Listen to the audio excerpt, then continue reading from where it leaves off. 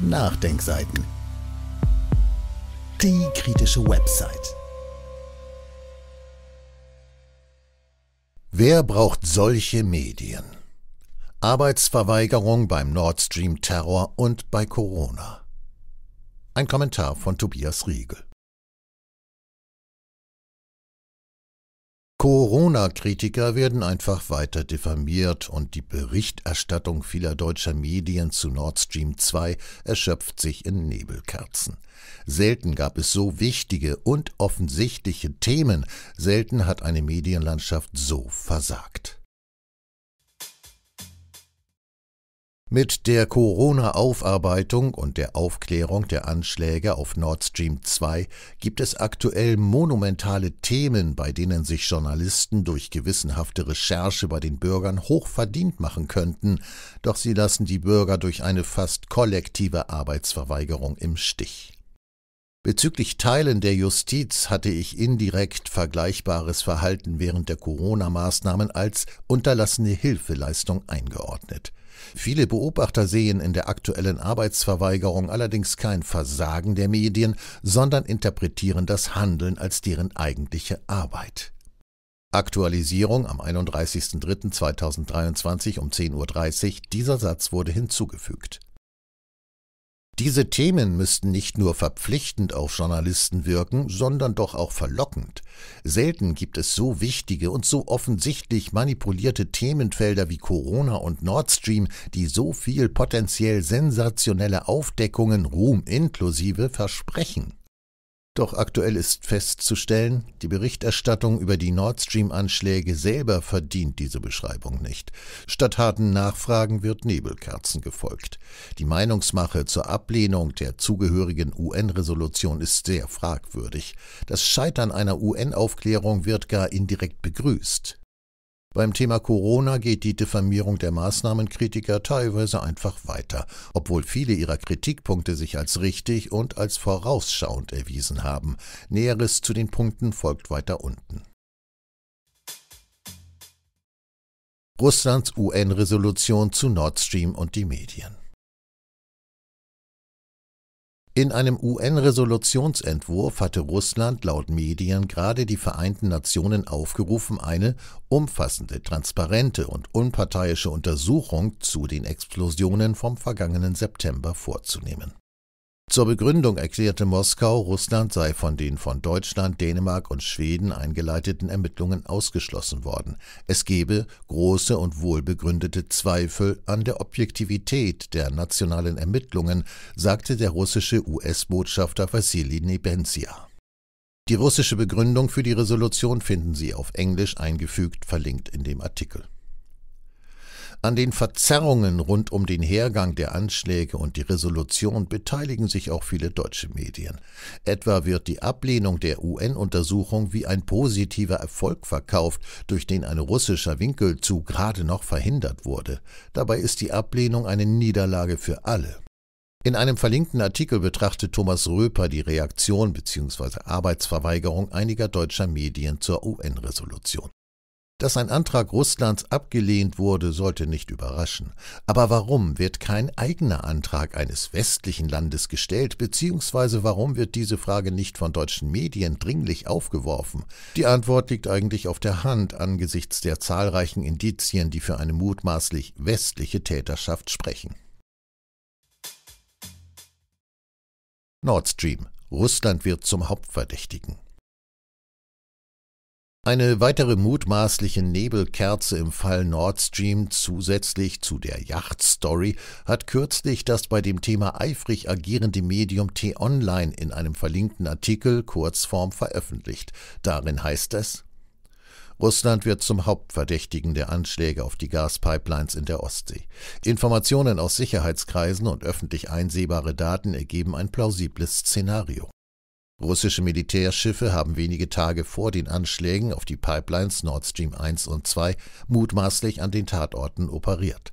Darauf lassen Recherchen von T-Online schließen, die auf Informationen aus Sicherheitskreisen und öffentlich einsehbaren Daten beruhen. Zitat Ende. Lang und breit werden die angeblichen technischen Details der Geschichte von T-Online in einem verlinkten Artikel ausgebreitet. Von anderen Medien oder Politikern etc. wird diese Version allerdings kaum aufgegriffen. Offensichtlich gibt es doch noch Grenzen. Trotzdem gibt es keine Anzeichen dafür, dass deutsche Medien bei Nord Stream ihrem Auftrag künftig angemessen nachkommen wollen. Laut Seymour Hirsch ist die mediale Arbeitsverweigerung in den USA ähnlich ausgeprägt wie hierzulande, wie es in seinem jüngsten Artikel zum Thema heißt. Zitat Pressereferenten des Weißen Hauses und der CIA leugnen hartnäckig, dass Amerika für die Sprengung der Pipelines verantwortlich ist, und mit diesem Pro forma Dementi gab sich das Pressekorps des Weißen Hauses zufrieden. Corona Kritiker sind blinde Hühner, die auch mal ein Korn finden. Am 7. April enden alle Corona-Maßnahmen, wie Medien berichten. Dieser absurd späte Termin lenkt den Blick einmal mehr auf die zerstörerische Zeit und darauf, welche Lehren daraus zu ziehen sind. Medien hatten bei der Einführung der Corona-Maßnahmen eine zentrale und abzulehnende Rolle. In einem verlinkten Artikel hatte ich mich kürzlich mit der nicht stattfindenden Corona-Aufarbeitung befasst. Ich hatte dabei positiv bewertet, dass nun manche große Medien Dinge schreiben, für die man kürzlich noch als rechtsradikaler Querdenker galt. Manche Leser waren von dieser positiven Bewertung zu Recht irritiert. Hier möchte ich betonen, dass ich in diesen einzelnen kritischen Artikeln noch keineswegs eine Aufarbeitung der Corona-Verbrechen sehe. Dass momentan teils eine kontrollierte Abwicklung des Corona-Narrativs angestrebt wird, ist nicht unwahrscheinlich. Zur Verhinderung einer Wiederholung müssen die Verantwortlichen für die sozialen, medizinischen, medialen und politischen Verfehlungen der Corona-Politik deutlich benannt werden und sie müssen in angemessener Weise diese Verantwortung übernehmen. Aktuell gibt es einen dreisten Versuch der deutschen Nachrichtenagentur dpa, den Corona-Verantwortlichen einen Freibrief auszustellen und die Welt diesbezüglich einmal mehr auf den Kopf zu stellen. Der von Medien nachgedruckte Beitrag ist in Gänze fragwürdig. Zusätzlich herausstechen aber Aussagen der zitierten Psychologin Lea Frühwirt vom dubiosen Center für Monitoring, Analyse und Strategie KEMAS gegen Radikalisierungstendenzen und Verschwörungserzählungen im Netz. Nachdem die Kritiker schon während der Corona-Zeit diffamiert wurden für überwiegend zutreffende Prognosen, müssen sie sich nun immer noch beschimpfen lassen. Jetzt als blinde Hühner, die zufällig ein Korn fanden, einfach nur skandalös. Die dpa schreibt, in diese Bilanzleerstelle stoßen Querdenker und Impfgegner. Glaubt man ihrer Argumentation, dann wollen sie es etwa in Sachen Masken oder Impfungen schon immer richtig gewusst haben. Sie behaupten, was einst als Verschwörungsmythos gebrandmarkt worden sei, werde mittlerweile als Fakt anerkannt. Dieses Bild, auf das sich die Anhänger jetzt noch beziehen, sei aber nicht aufgrund von Fachkenntnis und der Prüfung von Fakten entstanden, so früh wird, sondern rein aus einem Bauchgefühl. Wenn nun zufällig ein Ergebnis herauskommt, von dem Sie zwei Jahre zuvor ausgegangen sind, dann ist das der Fall eines blinden Huhns, das auch mal ein Korn findet, sagt die Kemas Wissenschaftlerin. Maßnahmenkritiker schreiben notfalls alles um. Völlig absurd wird es, wenn den Maßnahmenkritikern nun einerseits Zufallstreffer bei den Prognosen zugestanden werden, ihnen aber andererseits unterstellt wird, sie müssten nun alles umschreiben, um doch noch Recht zu behalten. Wie oft muss man es denn noch wiederholen? Zahlreiche kritische Prognosen sind eingetreten. Darum müsste sich der folgende Absatz eigentlich auf die Verteidiger der Corona-Politik beziehen, aber die Dreistigkeit kennt keine Grenzen. Zitat die Fallhöhe nun doch zugeben zu müssen, sich geirrt zu haben, ist enorm hoch, sagt Kemas Expertin Frühwirt im DPA-Gespräch. Auch habe die Gesellschaft diese Menschen als Covidioten verlacht, was ein Umkehren zusätzlich erschwere. Wie solle man da gesichtswahrend herauskommen? Also halten sie an ihrem Bild fest und schreiben notfalls alles um, damit sie am Ende doch irgendwie recht hatten. Zitat Ende. Auch Artikel wie diese in der Süddeutschen Zeitung veröffentlichte Wunschliste für die nächste Pandemie sprechen nicht für eine kritische Reflexion, sondern für eine Flucht nach vorne, unter anderem von für die Corona-Politik prägenden Personen wie Christian Karajanidis oder Viola Priesemann. Wer braucht solche Medien?